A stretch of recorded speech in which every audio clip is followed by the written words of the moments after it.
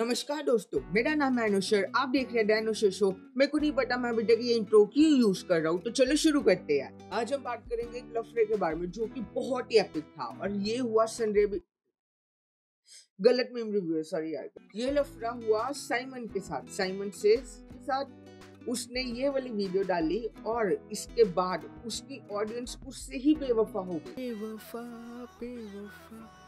बेवफा निकली है तू साइमन ने जो वीडियो डाली, उसमें उसने कवर किए आयरॉनिक और अब्सर्ड मीम्स और लोगों को वो ऑनेस्टली नहीं समझ रहे।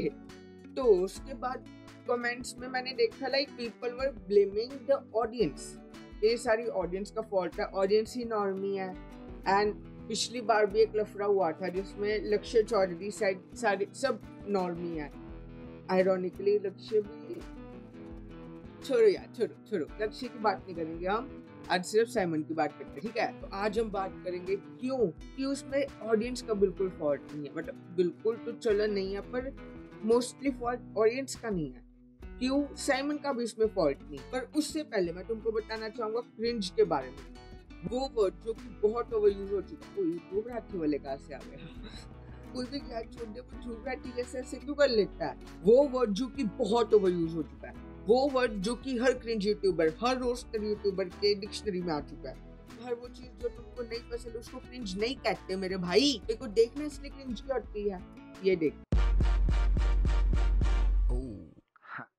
Come here, girl, let me touch up on your butt. Give it to you, got me reaching for your gut. See what I mean by cringe. सम समझो ये होता है क्रिंज कुछ भी तुमको ना पसंद आए, उसको क्रिंज का नाम नहीं दे देते बैंड जो में सेल्फ अवेयरनेस नहीं होती बच्चे खुद क्रिंज होते हैं दूसरों को क्रिंज बोलते हैं। अब मेन टॉपिक की बात कर रहे हैं। जिनको तो वो वीडियो समझ लग गई। दे आर लाइक कि ऑडियंस ही नॉर्मी है ऑडियंस ही बुरी है। मैं तुमसे एक सवाल पूछना चाहूँगा। वो बुरी क्यों है? Just because they do not understand internet culture they are bad इस हिसाब से तो जो भी इंडिया का कल्चर नहीं समझता, वो बुरा हुआ। तो ऐसे तो भाई पूरा जो वेस्ट है, जहाँ से हमारा खुद का मीम कल्चर आया है डिराइव किया गया क्योंकि हमारे पास कोई मीम कल्चर नहीं था। हमारा उनके मीम कल्चर के ऊपर से डिराइव किया गया है। हमारे पास कोई चैट रूम्स नहीं थे, हमारे पास कोई फॉरम्स नहीं थे, हमारे पास कोई इमेज बोर्ड्स नहीं थे।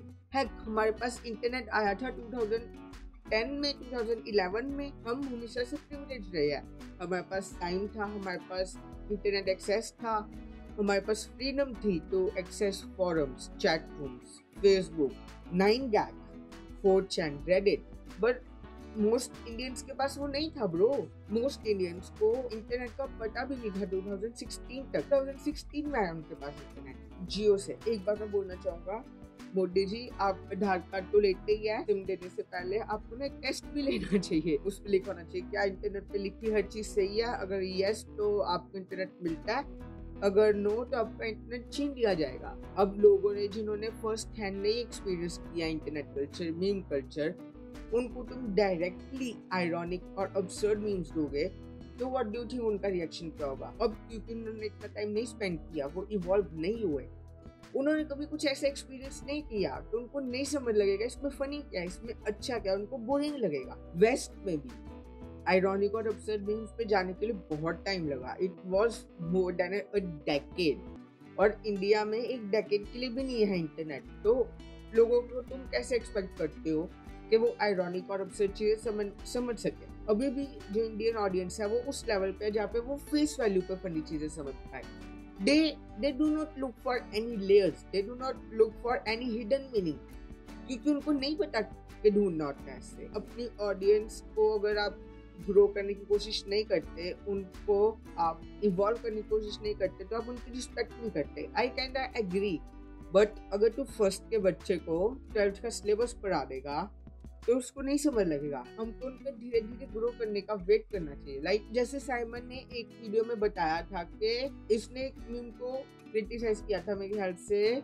No one literally nobody और दिस पर्सन ये वाला मीम उसने क्रिटिसाइज किया था। I think this is the best way to help the audience Simon अगर तू देख रहा है थोड़ा वेट कर। उनको धीरे धीरे थोड़ा मीम्स के बारे में बता। एंड कुछ सालों में ये तेरा एक्सपेरिमेंटल वीडियो नहीं रहेगा। ये होगा तेरा एक्चुअल कंटेंट मुझे दिख रहा तुम बोल रहे हो लॉल एक्स डी मैं कैसे मान लूँ चुप कर जा लॉल एक्सप्लेन मैं कैसे मैं कमेंट्स में ना लिखती। चलो यार बाय गाइस जय श्री राम। ध्यान रखो अपना।